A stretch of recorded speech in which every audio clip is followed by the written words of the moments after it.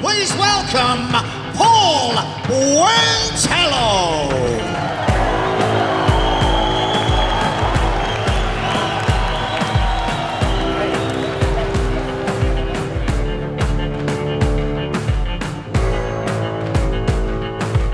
Steak Ranch.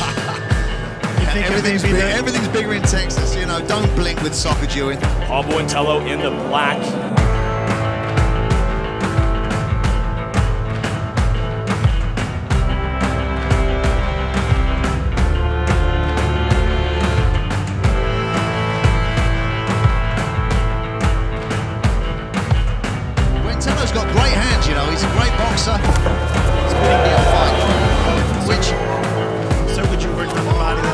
Both have incredible power.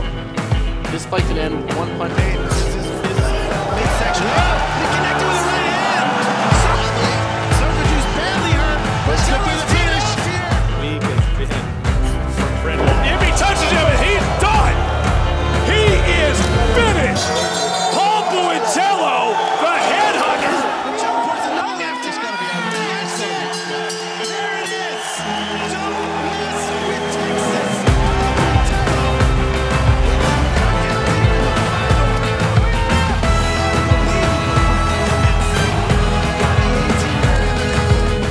I've been, I've been a warrior for a long time. I've been in this sport way too long.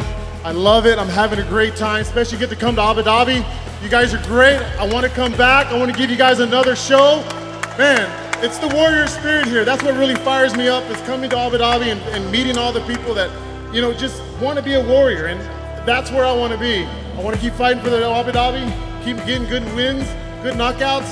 You know, I, I, I was on the outside. I watched everything and my timing my timing's on right now. It, I, I just peaked perfectly on my training. Hard, no hard sparring. I probably did three times hard sparring. Everything else is all technique and mitt work. And the best thing is, is that I got I got serious about conditioning and doing a personal trainer. Ivy Strong, uh, Ivan Bench over there in San Jose really opened up the doors and the muscles.